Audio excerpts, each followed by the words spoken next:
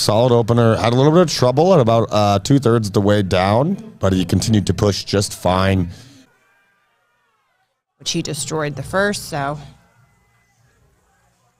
Yeah, 20 kilo jump here based on his opener. Maybe a, a really good call. It's just um, when you're walking out, got all these load. This like I can see this moving quick, no issue. It's just after, yeah.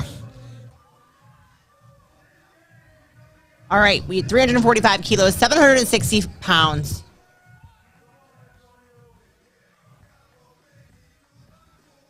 This is gonna be tough. Yeah, again, this is gonna be You tough. missed that. Look pretty. Okay. Oh, a redemption, Okay, was Antonio. the depth there? I don't think it was. Yeah, three reds. Hasn't had the best day so far. Had a little bit of a rough go on squats. Maybe opened a tad heavy. I wonder if that's going to be a trend here. Uh, coming into bench press, I want to. I'm curious to see if his bench press open is also going to be a bit heavy. That descent didn't look the greatest, but the bench moved well. Maybe one of those benches that's actually a tad harder than it looks. Looking tight, looking solid. A little bit too much tuck. You're gonna see a lot of flare off the chest if he wants to finish. There it is, right there. Man, see, so this is what happens when you see those low touch points. Uh, Low touch. It's not just low touches. Tons of internal rotation.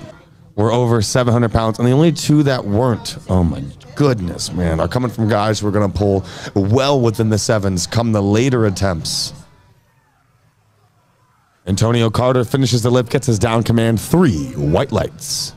I think the deadlift he may be a bit more comfortable with, although he is an absolutely huge squatter. I just, I have the feeling based on his setup, he's just very casual coming into the deadlift.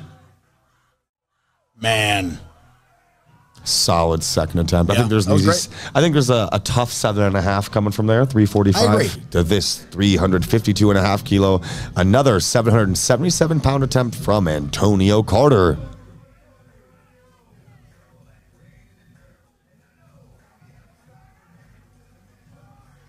No. Yeah, no, this is just um